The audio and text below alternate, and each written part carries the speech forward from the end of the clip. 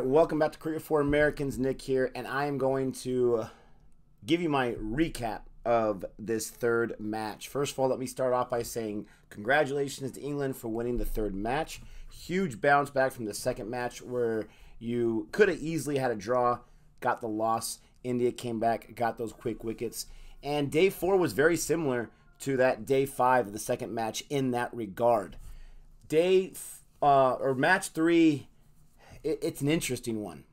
If you're an India fan, you, you just hated match three. You just want to forget about it you want to move on to match four. If you're an England fan, you have a lot to be excited about. And that's where I'm going to start off first with the positive.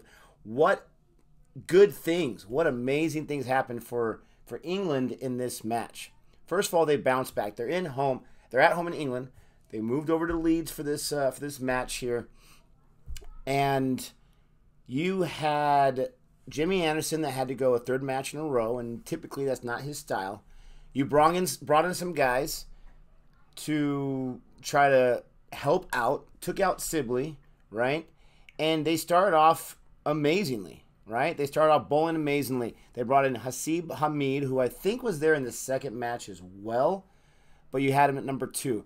You brought in Dawid Malan, big big change right there, and especially in that first innings, he really helped set the tone but you had guys like Robinson and Overton, who I believe were in the second match. I'm very confident in saying that. But once again, they showed that as much as I love Chris Woakes, right now you're not missing a Chris Woakes.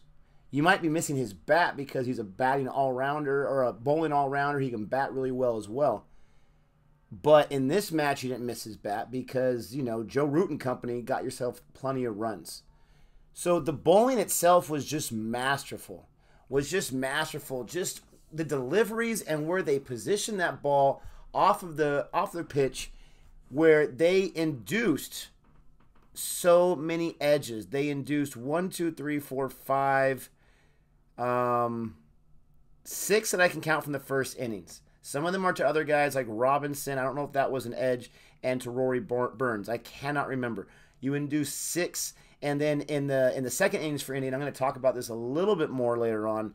You got yourself several more. KL Rahul with that amazing catch to Bairstow. Root got an edge. Buttler got an edge. Overton um, caught an edge. Buttler caught an edge. Buttler caught an edge. And Bairstow caught an edge from Siraj tail ender.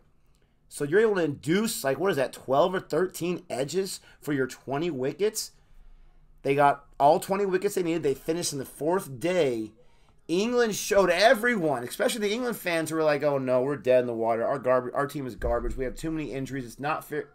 Then you watch this match and you're like, maybe it's okay that we have those injuries because these guys are performing. These guys are performing against the same India team that we feel embarrassed us with that defeat in the second match on our grounds at Lords. You got a lot to be excited about. You got Robinson with the fifer in this match. 26 overs, only 65 runs, two and a half runs per over. He did have five no balls, but you know he's he's feeling his way. Anderson did give himself a wicket in in the second innings, but it was really the first innings when he got his three wickets that was really what made the difference there in that first innings. And then you had Overton playing a great supporting role, and Moeen Ali. That's probably one of the few, if that's the only edge I saw on day four going against India that I was not mad at the, the batsman for. That was an amazing. Well, was there another one? I uh, yeah, there was another one to Jadeja. I don't I don't fault Jadeja for that one, but that one to Shami, that's man, that ball had so much spin on it. He completely fooled him out of his pads, and he, that would have fooled a lot of people. That was a beautiful ball Moeen Ali for his one wicket in in that over and he got himself zero wickets in the first innings. So one wicket, but it was a beautiful ball. But you had a contribution from a huge contribution from Overton and Robinson to support um, Jimmy Anderson with Stuart Broad not being able to be there, Chris Woakes not able to be there, Sam Curran. He was able to get himself a few wickets in in that I think like one over, right? Seemed like one overs where he was able to get his two wickets but it was really Robinson, Overton, and Jimmy Anderson that were the huge difference here. You had England that didn't drop anything, really. They didn't drop anything. And then the batting. I mean, you've got to be so happy with England's batting. In their first innings, Rory Burns 61. This is the order of their lineup 68 from Hamid, 70 from Malan. Anything you can do, I can do better. Root 121. Keep going up. The funny thing about Bairstow's 29 is I was talking to Gabe on the live stream saying, How much is Bairstow going to get? I think he's going to go for a lot. And he's like, Oh, he won't get to 30. He was absolutely correct there. 61, 68, 71, 21. You're going to win a lot of matches with innings like that. That was super impressive. So if you're an England fan, you're feeling really good about it. You shouldn't feel 100% confident that we got this. This is our series. But history would show that you do have it to your series. But besides that, you feel like, all right, we're ready to go. We can beat anyone, including India, right now, the way we just came off, and they've got to move it forward. And that's the biggest thing. And it'd be really interesting in match four if they're able to bat first to see if they can keep that amazing first four going. And even if one of those or two of those guys in the first four don't get going, you still have Buttler and Bairstow, who is definitely, Buttler's definitely more than due. Moeen Ali can also rake a little bit. Sam Curran, maybe we'll have a sighting of him. We haven't had much of a Sam Curran sighting in this series. So that's the good things about England. That's what you're excited about. For India, I'm, I'm going to go ahead and say it. Yesterday, I did my day three recap. I said India owned day three. They did. They did a fantastic job of fighting back. Kohli, Pujara, Rohit Sharma, they all fought back and they scored beautifully 215 runs. They didn't get to 300 today. I was nervous about, and I even mentioned the new ball. You guys mentioned in the comment section. I was nervous about the new ball, but I was more than nervous about the rest and being out of that form. That's what I was most worried about. I said if Kohli gets to 150 balls total because of that layoff he had, something like 94 yesterday, then that would be a good thing. And he got a total of 125. So he only saw 31 more balls. Kohli goes out the same exact way that he's always gone out the last several matches. The same exact way. And this time it was even more pronounced because he had at least at least that much distance, I want to say, from the the stump and his bat. So I, I don't know what he's defending. I don't know what he's doing. He's definitely not seeing it, and he's always susceptible to that edge. But it wasn't just him. It wasn't just him. Besides the beautiful ball by Moeen Ali, and besides Jadeja, Jadeja, that was a beautiful delivery. Who was that? By Overton. Beautiful delivery. That was just escaping right by the stumps, and his bat was right there. That was beautiful. But once again, Kohli, Rahane, and Pant. They all went out the same exact way, the same Kohli way that he's gone out recently, and it's frustrating. At least Kohli got himself 55, saw 125. That's the promising thing. That and let me just interject with some positivity right now. The balls they saw, the fight they had back in the second innings, not today, but in day three, Rohit Sharma 156 balls, Pujar 189, Kohli 125. That was good to see, but we, we don't need moral victories right now. This is Team India. They have more than enough juice to be able to get past a team like England, even at in Leeds at Headingley. They can do it, but they weren't able to do it today. What I'm going to say is this was worse than day one. This was worse than day one. Okay? It was. Because day one, 78 all out. They had two wickets against them.